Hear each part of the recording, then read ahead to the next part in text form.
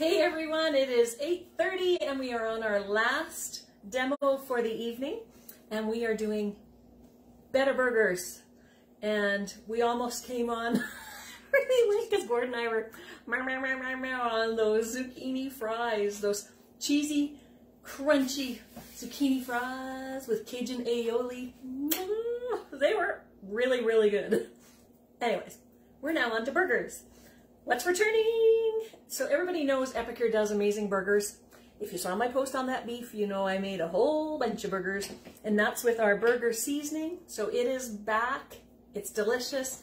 You basically just take it, mix it with some ketchup in a bowl. You can add other stuff if you want. We don't even bother. We got our burger seasoning is back, and then they brought two other ones that came they came out a couple years ago now, but Tuscan chicken and the West Coast burger, sort of a fish burger although it's good in chicken as well. And the Tuscan chicken burger seasoning. Burgers. Oh, if you've tried them, I'd love to hear which one you like. I love burgers. We love burgers.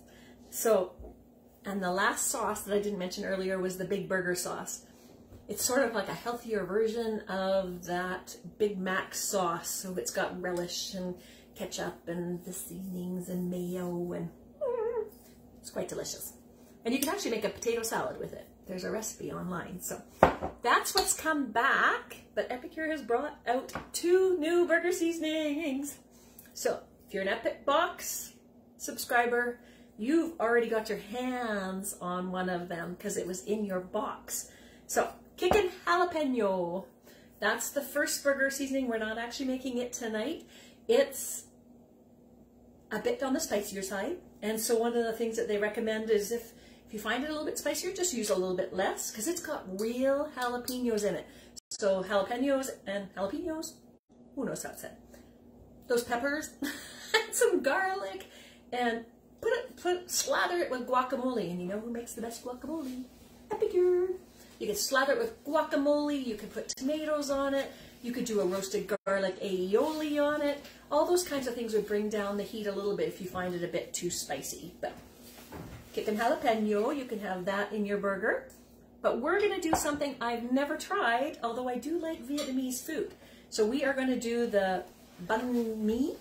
Banh, I, I did listen to how I'm supposed to say it, but I can't say it. So banh mi is how I'm going to say it and it's sort of lemongrass. There's big chunks of onion in it, and it's suggested to do it with pork or pork and beef.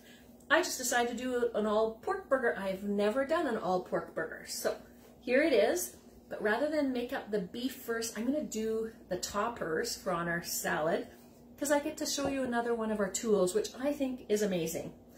We're all about multi-purpose tools, and I know I'm not sure if Oh, yep, Darlene's there. Oh, Big Burger Sauce is the bomb. I know that she likes our mandolin as well. Four in one, so you can have thin slices, thick slices, julienne really tiny, or julienne a little bit thicker. So we're going to use this bad boy to do up the vegetables that are going to be on the top of this. Unlike most sort of Western burgers where we like cheese and bacon and lettuce and all those kinds of things, this one, they suggest using cucumber and carrots and red onion. So that's what we're going to put on it. I don't know if anybody's ever had a burger like this, would love to hear, or if anybody's even interested in a burger like this. My watch, I don't know about this thing. I just don't want it to get in the burger when we get to the burger. So here we go. We have the four in one, and I have put on the one and a half millimeter. So there's one and a half, that's the really thin, and then the three and a half. And what I'm gonna do is do the red onion on the really thin. And this is how easy it is. Hopefully you can see this. There is a guard. Do I have the guard out? I don't have the guard out right now because, oh, yes, I do right here. There's a guard on it that you can just push that on there to protect your hands. And you can just go, and I'll just show you how thin that is. So we're gonna do up a little bit of onion. And the thing I like about this is, because onion can be a little bit overpowering with red onion, I'm making it thin. So it's super, super thin. So I'm just gonna do a little bit of that up for a garnish. Kind of reminds me of, there's a Vietnamese um, restaurant by my sister and we like their subs. So maybe this seasoning will be nice and we can make our own subs. But so there's our red onion. I'm not going to do that much because my husband and I, we like a little bit, but, but see how thin that is? It just, super, super thin. Super, super easy. Okay, we're to pop that puppy out. Don't need any more onion. And I'm to pop this out. So this is how the 4-in-1 works. Can you see that little button on the back there? You just push it and out it pops. And then you have this handy dandy little storage case for the four different blades you have. So I'm to just put this one aside and I am going to get out three and a half millimeter. So this is a little bit thicker. I'm going to make our cucumber just a little bit thicker. And again, you just put the nose in. Super. And I'm going to just You can never have too much cucumber, can you? Maybe on the burger, but on this it'll be okay. So we got some cucumber, and it's just that little bit thicker. Know if you can tell. Love it. Again, we're gonna use that little button on the back, pop it out, and I'm going to julienne some carrots. So it actually suggested, I'm looking at the recipe, it says to do matchstick carrots. So those are a little bit thicker, and I'll just show you the two different blades. So here's the two different blades to show you how big it will be. So I'm going to do some carrots in this. Again, I'm just going to pop the bottom in there. It tells you when it's in because it, it just clicks in. I say that and then it doesn't do it on video. Mm. Clipped in there. Oh, there's a question. Are you talking about lemongrass? I'm not too sure, Nancy.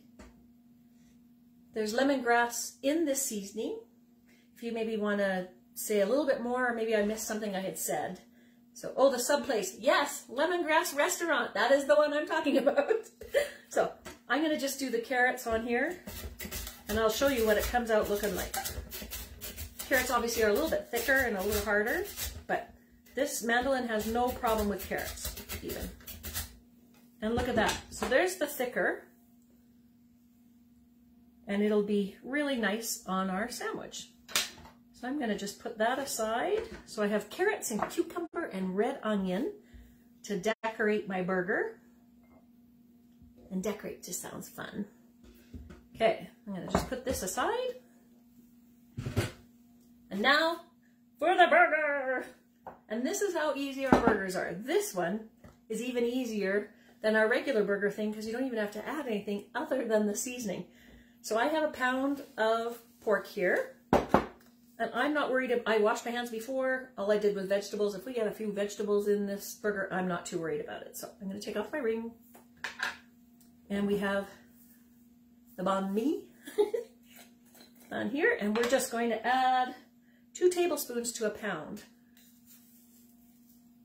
Oh, actually, what I should show you before, because I'm going to use it, my hands will probably be a bit gunky our three-in-one burger press. So if you saw my post with the burgers, they're all perfectly round, perfectly squished. This is a three-in-one burger press. The beauty of it is, here's where you do. There's two little discs, easy to clean. This just pops on the bottom. You put your four ounces or your six ounces of meat in there, and then you just take this top, squish it, pop it out. That's what I'm going to do with these pork ones tonight. But the three-in-one is because Inside this lid, there is also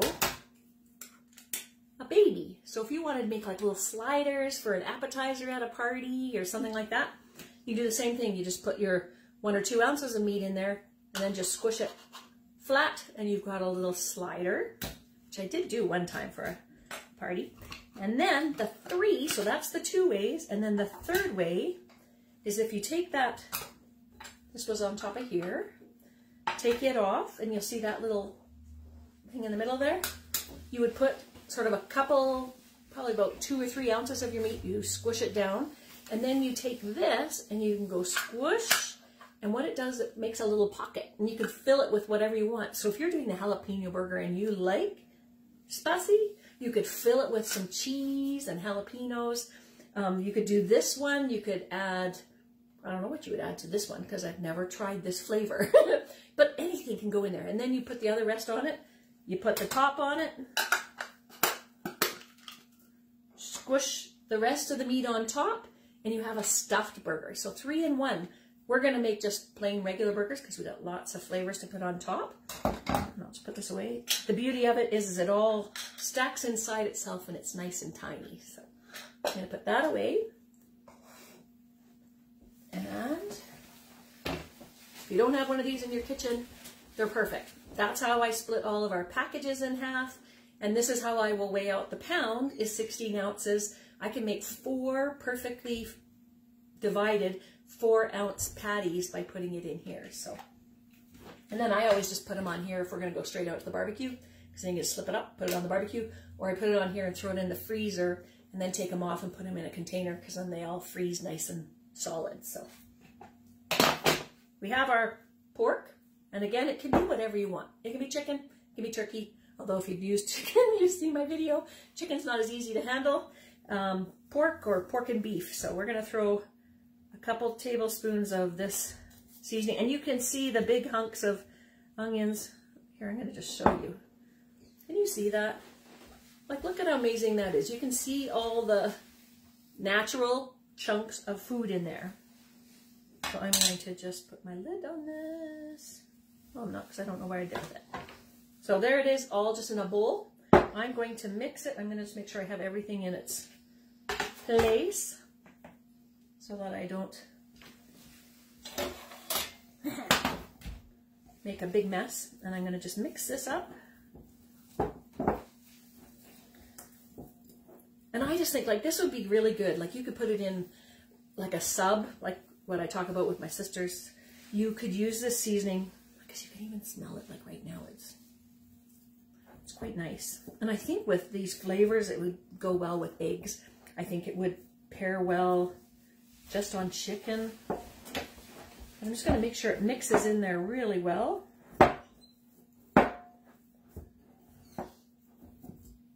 Oh wow, this smells I'm really excited to try this because I've never made like Vietnamese like burgers or anything like that. So I don't know who's who's excited. I see Darlene toss red onion in some lime juice and it mellows the sharp taste.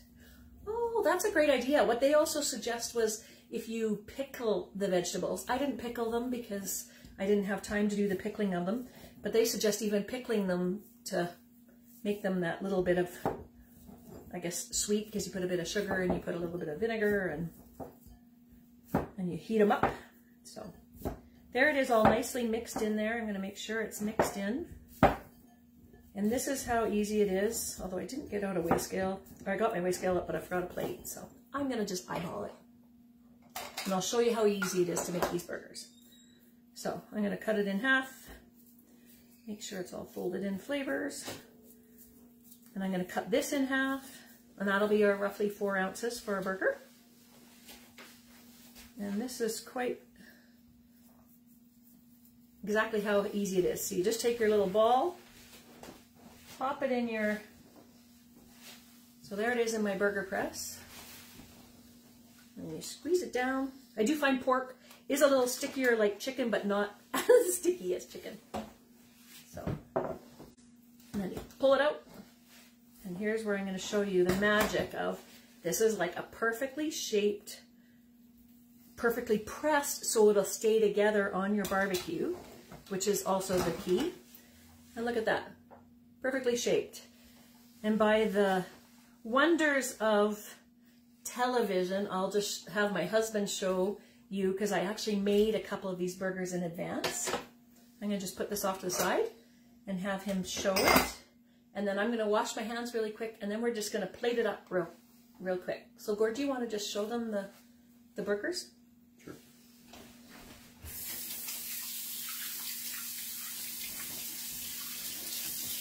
Hello, everybody. So, while Janice was doing her live demonstration of how to make the burgers, I was actually cooking and barbecuing them. So you can see there's crosshatch on there And so I will pass it back to Janice so she can plate it up and show you. Oh, look at the While we juices. taste it.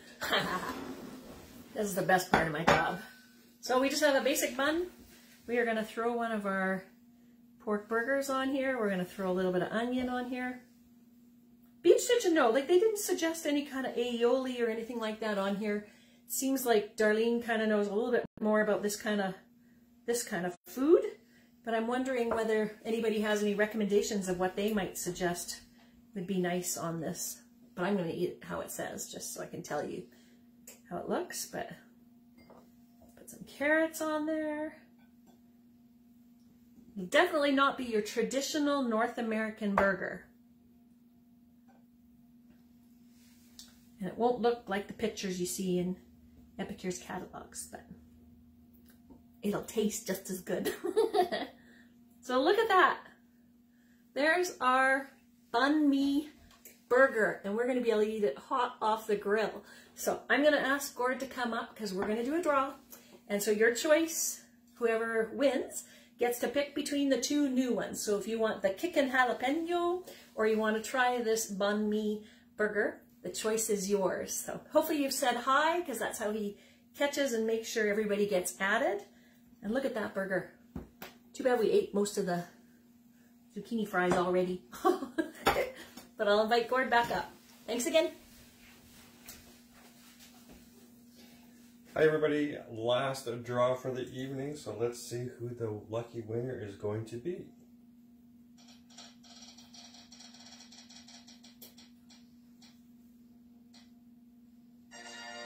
Kathy! Kathy. Hey, Kathy. So you get your choice. You can pick either the banh mi or the kickin' jalapeno. And if you're coming to the open house, you can always pick it up there if you happen to be in town. Um, but again, just want to say, like, the biggest thank you for spending your Friday night with me, allowing me to share my passion for what I get to do. Um, I love being an Epicure ambassador. I love sharing good food. I, I think it's awesome and it's easy. I just showed you, we were only on, it's like 15 minutes and I pulled together a burger. I mean, obviously it would have been on the, the grill for about five minutes, six minutes, but 20 minutes and you have a delicious meal on your table. So hopefully you're as excited as I am about this spring catalog. Um, hopefully you'll join me. Again, the date is April 22nd for the live one. If you would actually like to come and try some samples. So we'll sample what I did here tonight, but I'll also throw a few more dishes in for you guys to try. So hope to see you on the 22nd. Again, from my heart to you, I just say a big thank you. Have a wonderful rest of your long weekend. Bye.